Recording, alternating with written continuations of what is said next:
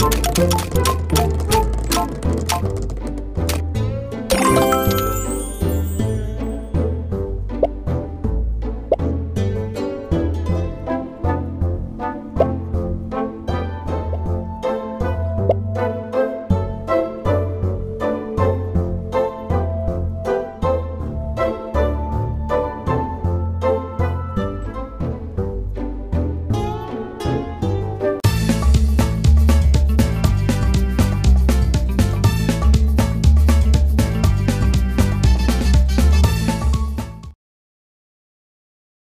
Subscribe now and press the bell icon.